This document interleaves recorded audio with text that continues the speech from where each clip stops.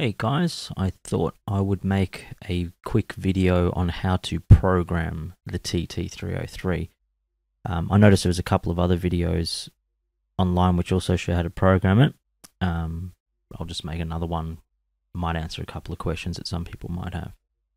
First thing, let's find a pattern that we'd like to to override or maybe a blank pattern. Easier just to find a blank pattern, it's got so much uh, memory. Alright, so here's a blank pattern here. I'm in write mode. What you'll notice when you select pitch mode, this is this is the start of the pattern. There is no information on this at all. So that's why these lights here are blinking to indicate it's blank. There's there's no rest, there's no anything on this pattern. So we'll just start by selecting our first note.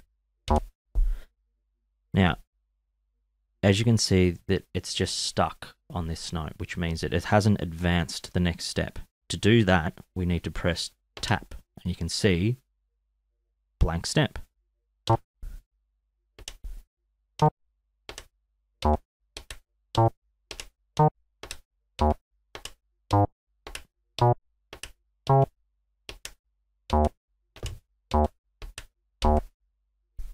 So I've got some notes in there now.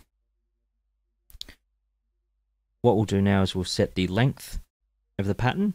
To do so, we go out into function mode, hold function down, and you press the step button here, and you count how many steps it is you'd like to have. Um, we'll just we'll start with eight.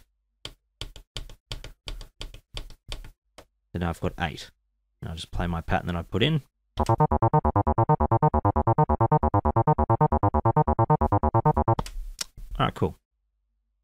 Now, what we can do is go back to the pattern and take a look at these notes.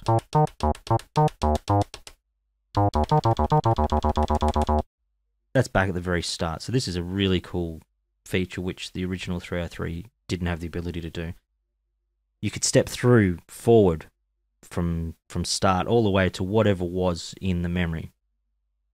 But you could only go back to the last step you're on. So if I was going through, I went if I press the back button, it'd only just go back to that one. If I pressed it again, it just kept, it just stayed on that one point. Whereas this will go all the way back to the very first note. Very cool feature that. So let's put some put some variation on the pattern.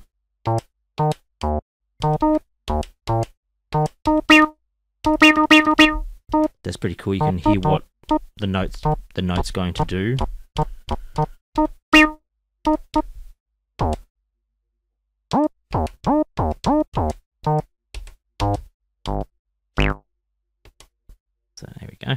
Take a listen.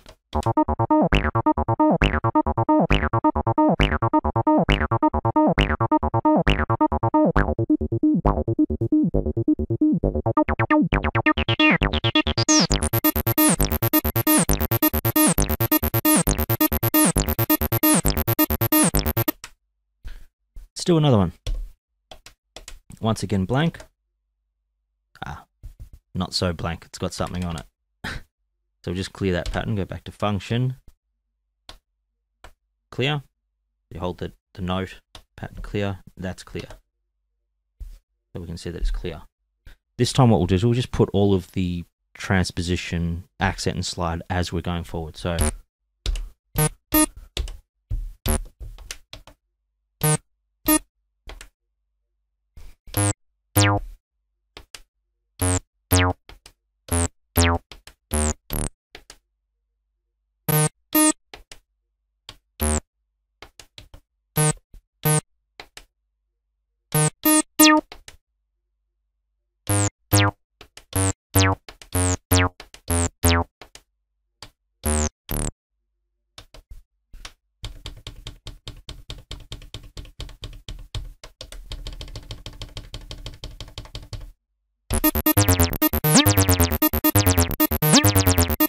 sounds like it's falling down the stairs.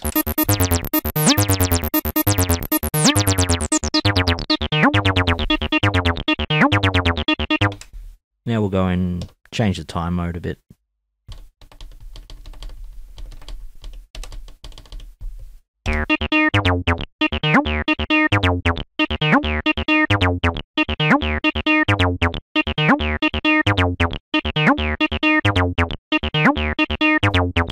Also just go back and pop it back to standard steps.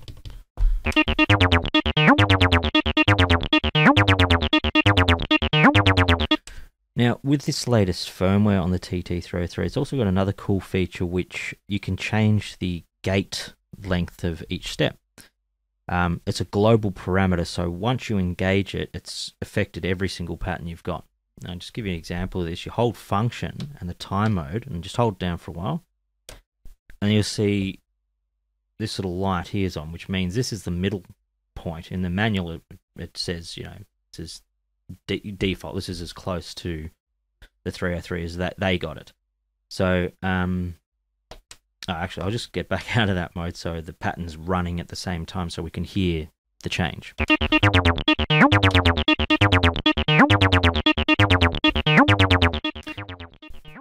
So this being the middle section default, very short notes, very long notes. So let's listen to the changes.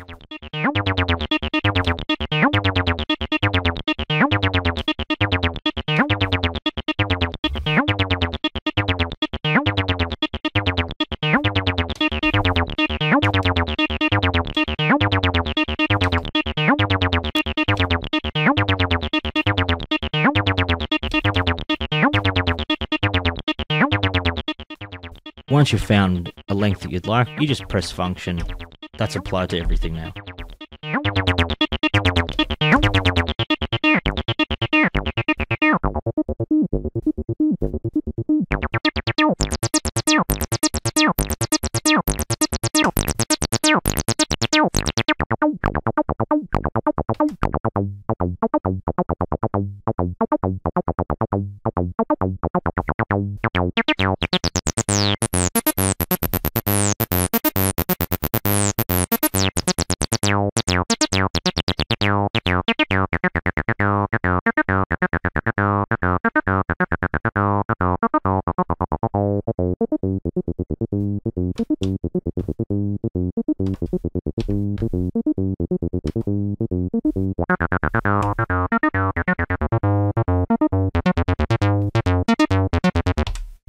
Very cool unit. So that's some of the features that you can have a look at and think about whether or not this unit's for you or not.